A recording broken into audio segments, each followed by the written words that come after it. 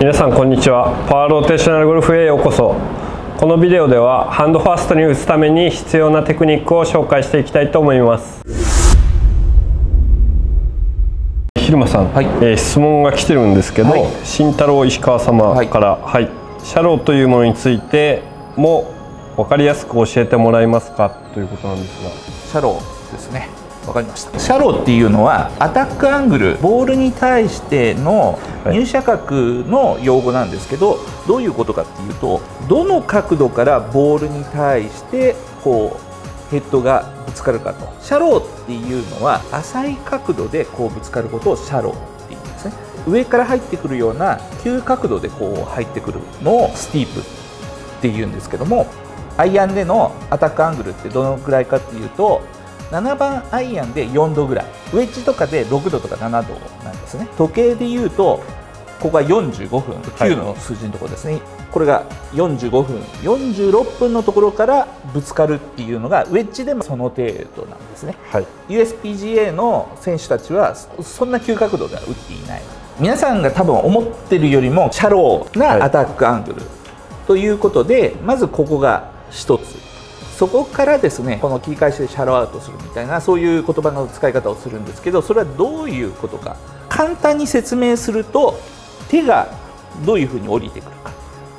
そこに対して上にあるのがスティープです、はい、で下にあるのがシャローです。手がどう動いているのか。それに対してクラブの、まあ、ヘッドでもいいんですけど本当は重心っていうことですね。このクラブの重心自体がどのポジションにあるのかっていうことでシャローなのかスティープなのか。ビデオカメラって 2D じゃないですか、はい、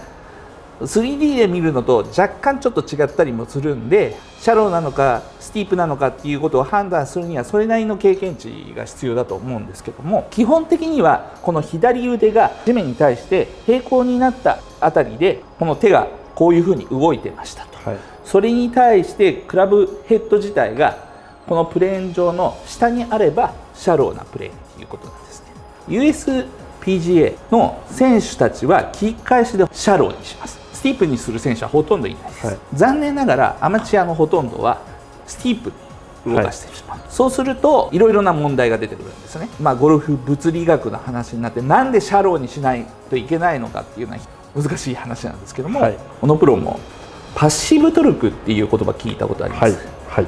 でこのパッシブトルクって何なのかっていうとですね単純に言えばクラブヘッドと手の関係ですね。この状態でどこに引くかでクローズになるトルクがかかったりオープンになるトルクがかかったりすることをパッシブトルクっていうんですね、はい、非常に複雑なんで分かりやすくこの平行のところでやると手がこう動いてるのにターゲット方向に動くところに対してまずこのポジションで今クラブヘッドが後ろ側にありますと。これはシャローな状態ですよね。こういうここから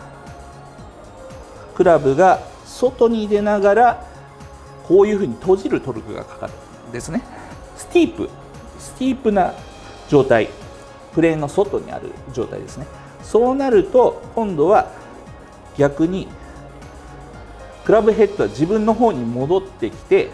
なおかつフェースが開こうとするトルクがかかる、はい、つまりパッシブトルクをうまく使うためにはクラブをシャローにすることが重要なんですね最初の、はい、でパッシブトルクを使わないとどういうふうになるかっていうとボールに対しては常に来角があるんで最適な入り方をせざるを得ないんですね。じゃないとすごいこう手が上がった状態だったりとか、はい、手が下がった状態で当てることが必要になってしまうということでクラブが立ってスティープで帰ってきてしまうと最終的には立ちすぎちゃってて。まあ、初心者とかだったらバンってそのまま落としちゃうかもしれないですけど、はい、ある程度打ち慣れてる人はどっかでシャローのこのプレーン上に乗せてこようとするんですね。それはどうやってやるかっていうとここからまず体が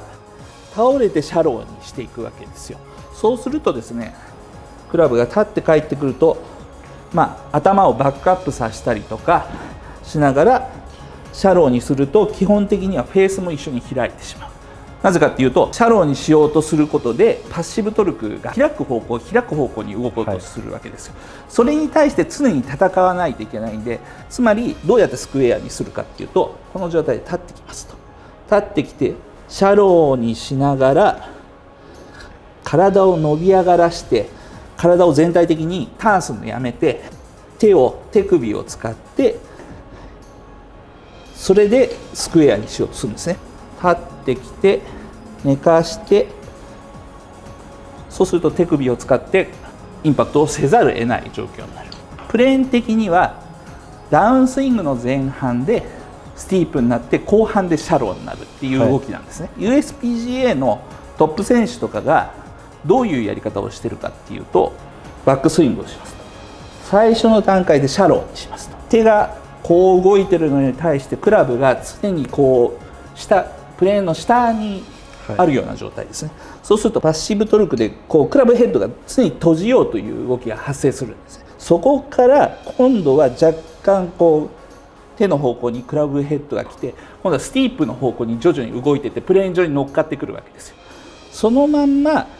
スティープになりすぎないように体を常に速く回転をさしてインパクトを迎えるんでシャローにしてクラブヘッドが徐々に徐々に加速し始めると手を追い抜こうっていう力があるんで、それに負けないようにそのスピードで